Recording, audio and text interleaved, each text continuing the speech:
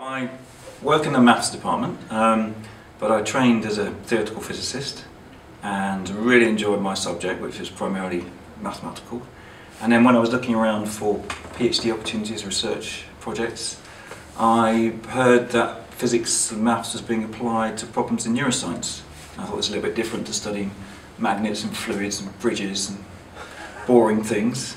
So I was very fortunate to get a research PhD position in London uh, to work in an area called neurocomputing, which is basically trying to borrow the tricks of the brain to solve real world problems, like the ones that we solve as people. Use, we use our brains to do computations. Okay, so our brains are not like the laptops that, that we know and love now, or the iPads. Uh, we solve real world problems with the wet tissue in our heads. The brain is one of those examples of a really complex system. So we, we, we know how hard it is to explain things like the weather as a great example of a complex system.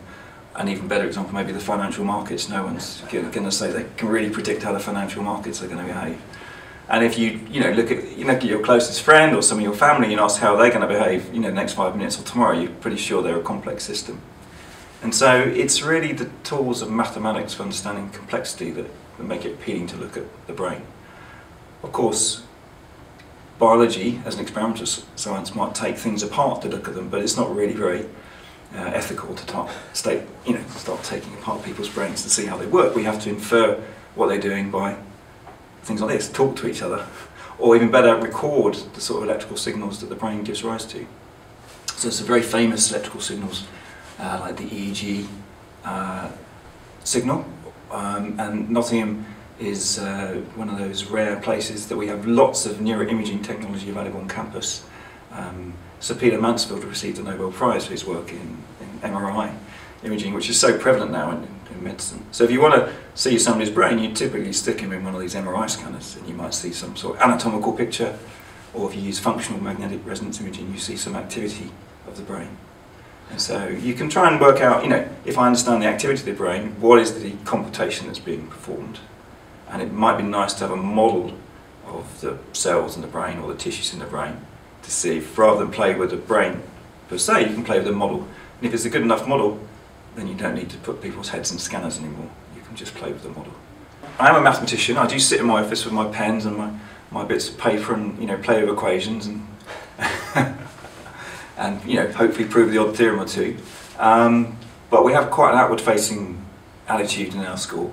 So as a mathematician, I want to make my services available to the neuroscientists on campus. I'm not a neuroscientist by training, I'm just very, very interested. So we go and talk to our colleagues in academic radiology, the people that do the brain scans. We talk to our colleagues in hearing research that are interested in, you know, helping people hear better, say with technologies of cochlear implants. Talk to my colleagues in biology that are just interested in fundamental uh, neuroscience, you know, how to how do brains make interesting patterns that then get turned into behaviours or computations. Um, so we're sort of, you know, we like to be the friendly people on campus, mathematicians that talk to biologists, psychologists, clinicians, and also more recently bioengineers. You know, as well as understanding the biology, it'd be nice to sort of reverse engineer the biology and have a, you know, an iBrain that sits on your desk and does computations for you rather than an iMac. Another good example is navigation. We're really good at you know, walking around campus thinking, oh, I drove in this morning, I put my car somewhere, I need to go and find it again. Um, so we have mental maps of the real world that we can use to navigate.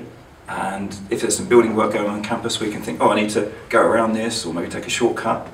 You know, you put a robot with a you know, traditional programming uh, piece of software uh, in an environment like that, it's not going to do as well as we do. So there's certain natural things that humans do really well, and it'd be great if we could learn the principles by which they do that and get machines to do them equally well.